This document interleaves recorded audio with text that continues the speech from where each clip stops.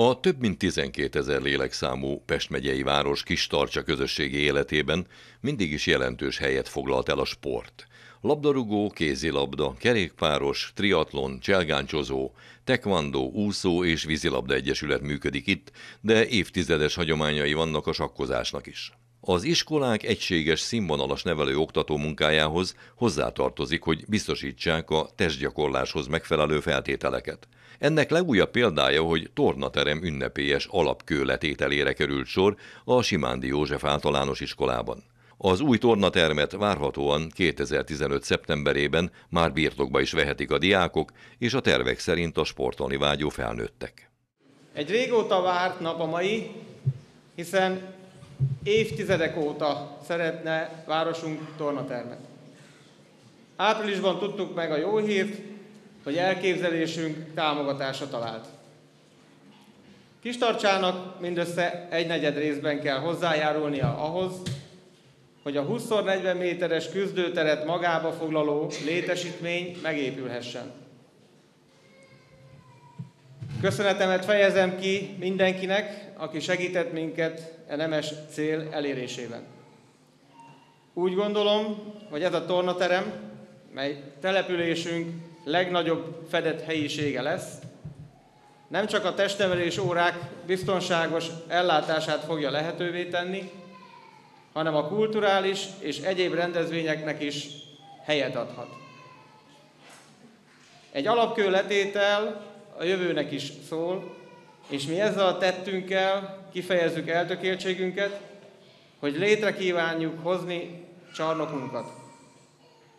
Annál is inkább, mert a mai virtuális világban kiemelt fontosságot tulajdonítok annak, hogy a jövő generációja megkapja a feltételeket az egészséges életmódhoz, a sportoláshoz. A város már megszerezte a jogerős építési engedélyt, sőt már folyik a kiviteli tervkészítés is. A csarnok három osztály egyidejű tornaóráját lehetővé tévő nemzetközi kézilabda mérkőzésre alkalmas, 45x25 méteres lesz. 1144 négyzetméteres küzdőtérrel.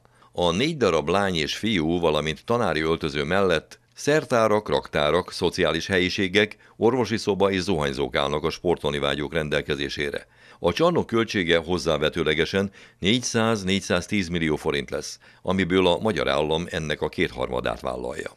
Egy tőzsgyökeres kistarcsai fiatalember már kisgyermekkorától kezdve szállította az érmeket a judó viadalokról.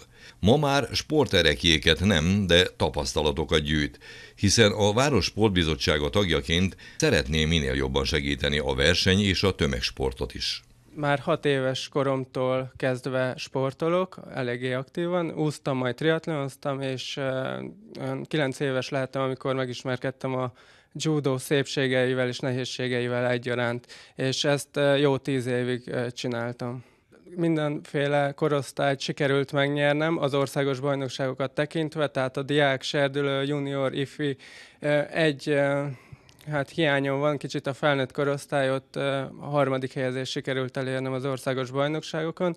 Hát összesen tíz magyar bajnoki aranyérmen van egyénibe, és ehhez párosulnak még a csapat, illetve a, a, hát a csapat bajnoki érmek, aranyérmek, és természetesen 2003 volt a csúcs, amikor Azerbajdzsánban az IFI Európa bajnokságon harmadik helyezés sikerült elérnem. Hogyha visszatekintünk az önsportágára, akkor mondjuk egy bő 20 évvel ezelőtt azért még volt egy-két név, ugye?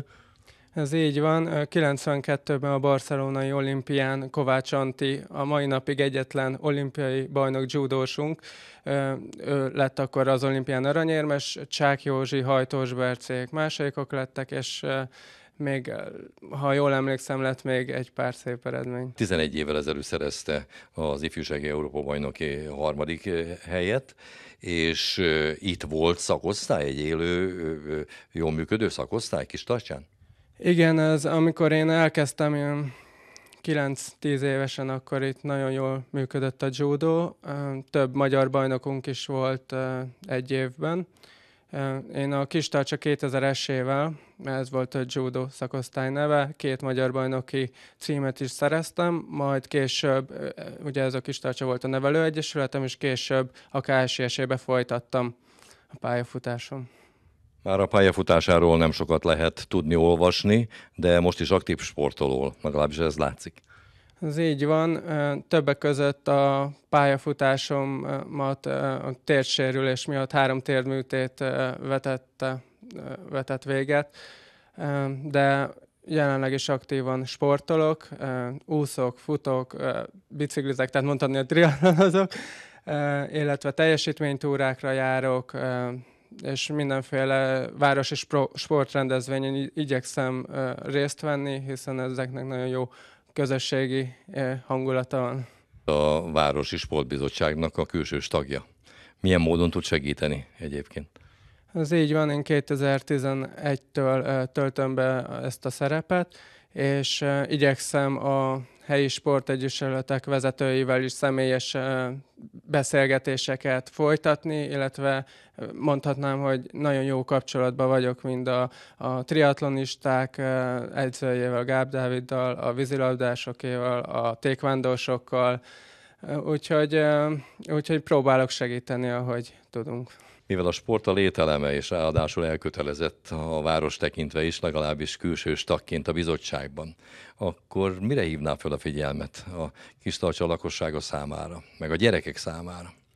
Én úgy gondolom, hogy a sportnak egy nagyon komoly személyiségformáló szerepe van, tehát én arra bíztatom a szülőket és a gyerekeket, illetve a felnőtteket, hogy kezdjenek el sportolni, sosem késő, hiszen rengeteg mindent ad a sport, úgy gondolom, hogy az egy biztos alapot ahhoz, hogy a hétköznapi életben is eredményesebbek és sikeresebbek tudjunk válni. De szerencsére egy kis tartsán van egy nagyon jó tanúszodánk, ahol el lehet járni, úszni, van egy nagyon jó focipályánk, ahol lehet edzeni, focizni, van vannak, van tornaterem, és szerencsére most tettük le a alapkövet az új tornatermünknek, úgyhogy várhatóan jövő szeptemberre az is elkészül, úgyhogy ott is majd nem csak a sportnak, hanem a rendezvényeknek is teret ad majd.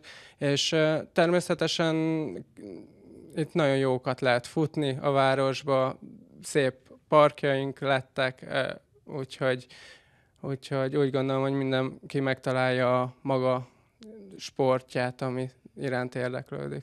Mikor és miért adta a fejét egy fiatal ember a tekvandó sportágnak? Mert hogy úgy tudom, hogy nagy rajongója volt, sőt gyakorlója a kézilabdának, a futballnak, az atlétikának.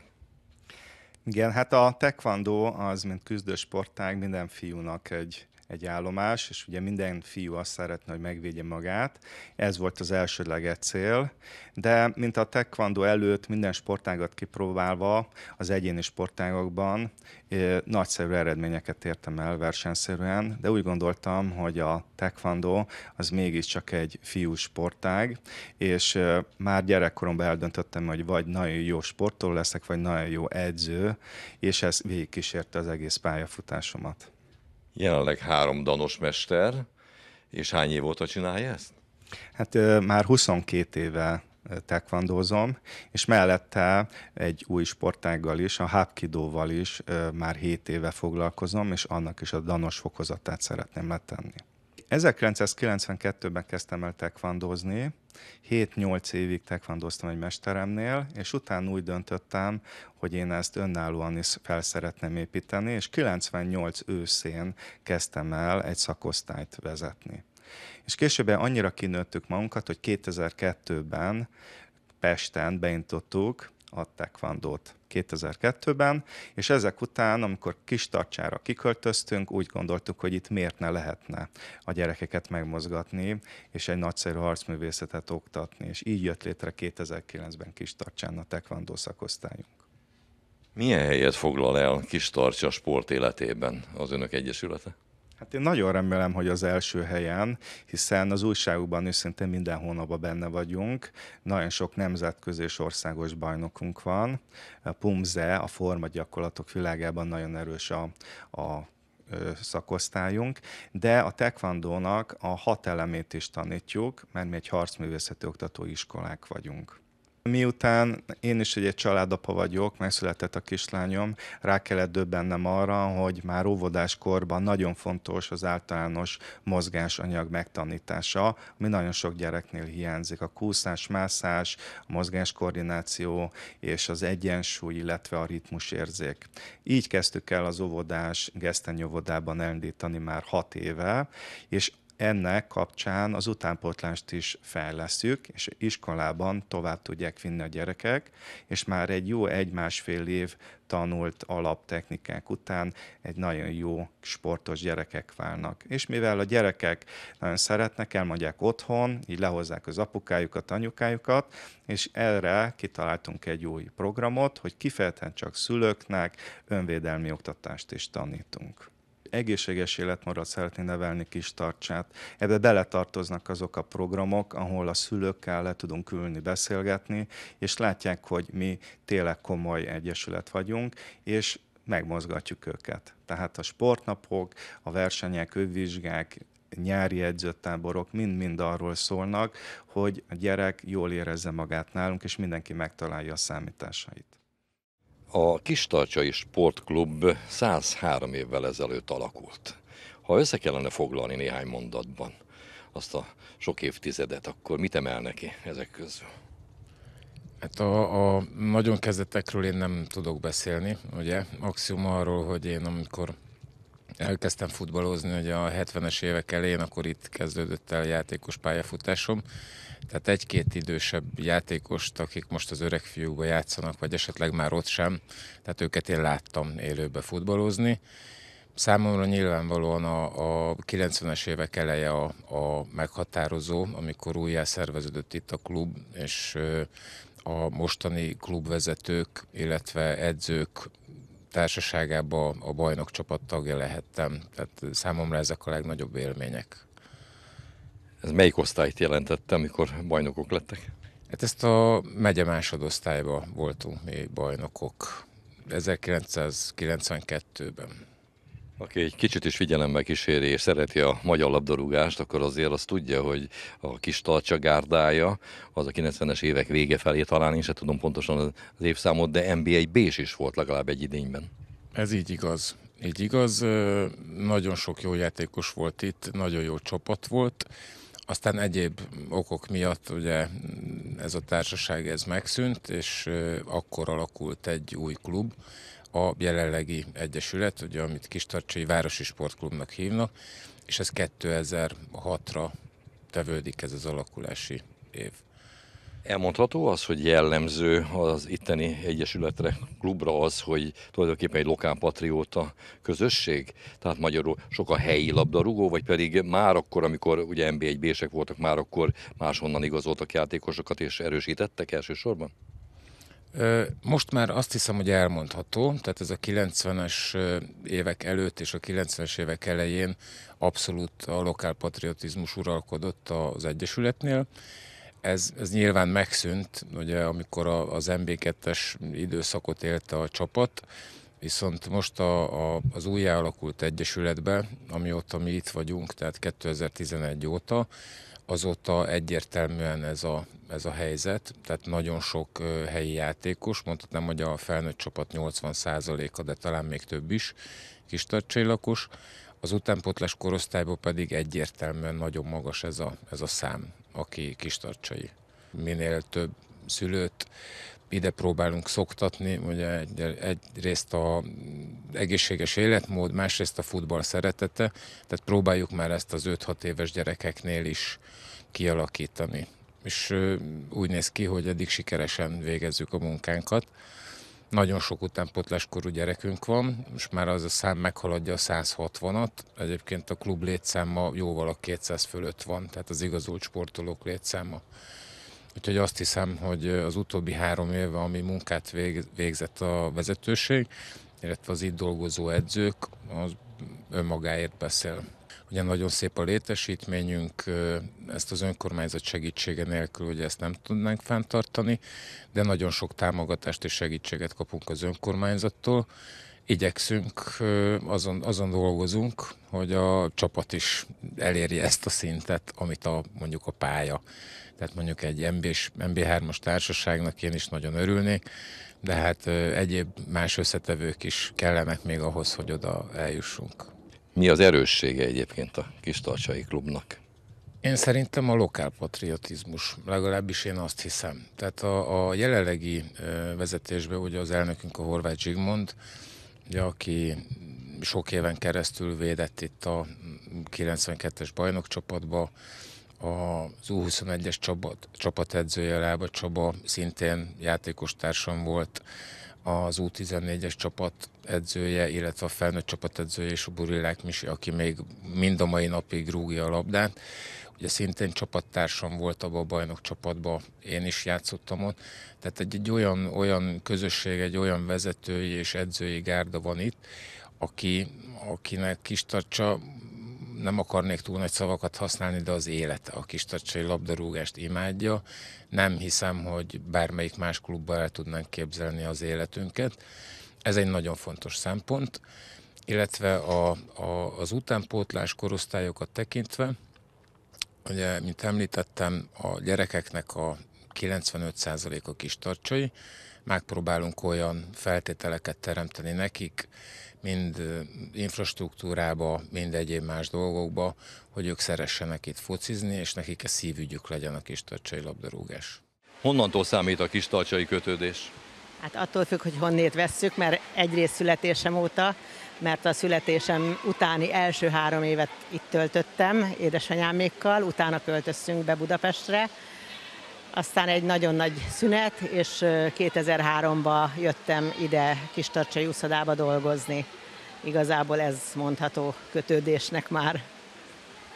A sporthoz való kötődéséről, ha beszélek, akkor azt hiszem eltenne legalább 5-6 perc, de én megpróbálom most két mondatban összefoglalni, hiszen Dugáncsi Anna néven ifjúsági országos bajnokságokat nyert. Aztán, ha jól emlékszem, 1976-ban akkor 200 méter pillangon országos bajnoki címet szerzett, de akkor már a Fradi színeiben, előtte a Honvédben sportolt. Mit emelne még ki a sportpálya futásából? Nagyon jó közegben mozoghatott, hiszen ismert nevek voltak abban az időben, Gyarmati Andreától kezdve sorolhatnám. Aki a régi időket nézi, azok ismerik. Gyarmati Andreával a Fradiban egy váltóban úsztunk, utána édesanyja szerette volna, a Székeiva szerette volna, ha maradok a Fradiban edzősködni, de vidékre szólított az élet, mert férjhez mentem és Kecskemétre kerültem és ott kezdtük a, a volt férjemmel együtt a, az edzősködést, úszóedzősködést, aztán vízilabda edzősködést, elkerültünk Szentesre, ott ugye az a vízilabda Fellegvára, úgyhogy 8 évet ott edzősködtünk, majd visszakerültünk Kecskemétre, és ott egy saját vízilabda klubot alapítottunk, a Villanó Fókákat, és hát az élet úgy hozta, hogy én utána Gödöllőre kerültem, és onnét jöttem ide Kistarcsára, ahol 2003-tól foglalkozom alapfokú vízilabda oktatással, és 2007-től van a mi saját kisklubunk, a VUK Sportegyesület, ami végül is csak utánpótlás neveléssel foglalkozik, mert a lehetőségeink nem engednek túlzottan mást a tanmedencében. Hat gyermeke van, és ezek közül hármat mi is jól ismerünk sportszeretők, hiszen vízilabda olimpián részt vett bajnokokról van szó. Sőt, hát az önveje pedig ugye olimpiai és világbajnok vízilabdázó dr. Kis Gergely. Igen, háromszoros olimpiai bajnok, így van.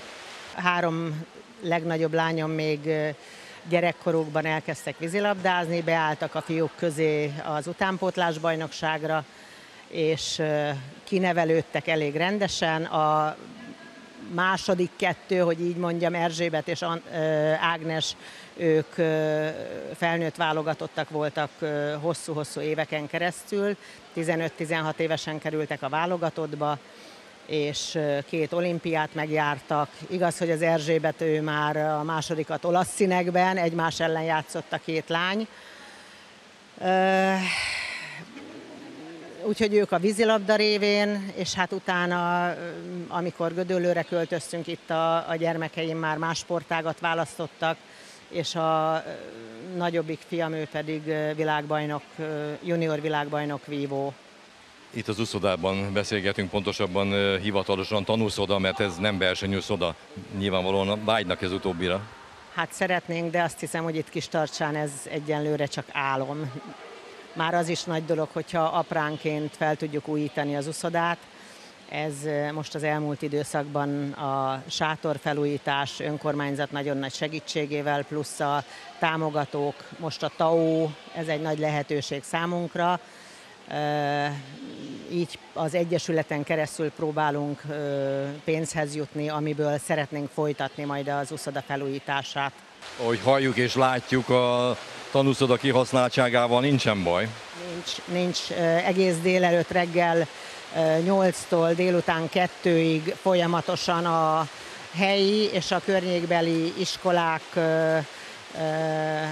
testnevelés órái, úszás órái, Csömör, Nagytarcsa, Pécel, Isaszeg, Kerepes, meg a helyi iskola. Mondhatni, hogy, hogy százszázalékosan ki van használva. Délután pedig jönnek az edzések, a vízilabdán kívül itt nagyon komoly a triatlon élet, és van úszó, hát szakosztálynak mondható, tehát úszó részleg is, ahol, ahol a gyerekek sportolhatnak este hétig, utána pedig a nagy közönség. Valószínű a találó név, a VUK, az nem csak a mesefigurára utal. Nem, ez a vízilabda és úszóklubnak a rövidítése, csak hát így egy kicsit hangulatosabb a gyerekek számára.